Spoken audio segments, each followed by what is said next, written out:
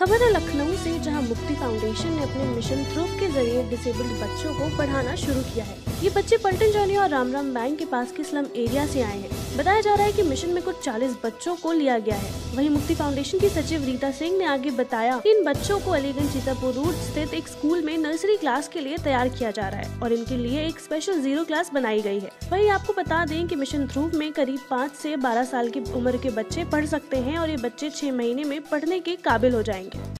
ये हमारा मुक्ति ऑर्गेनाइजेशन है जिसमें हम मिशन ध्रुव के तहत उन बच्चों को पढ़ाने की मुहिम को हमने आगे बढ़ाया है जो अंडर बच्चे हैं जो मूलभूत सुविधाओं से वंचित हैं इन बच्चों को इनकी पहचान कराना और इनके लिए इनको एक अच्छा नागरिक बनाना ये हमारा उद्देश्य है। तो हमने ये चूँकि यहाँ पे एक स्लम एरिया है और सराउंडिंग इसके एक बहुत अच्छा आ, अच्छे लोग रहते हैं लेकिन किसी भी स्थिति में यहाँ के लोगों का इन पर ध्यान नहीं जाता है। क्योंकि किसी भी देश का विकास तभी संभव है जब वहाँ का प्रत्येक नागरिक पढ़ा होगा।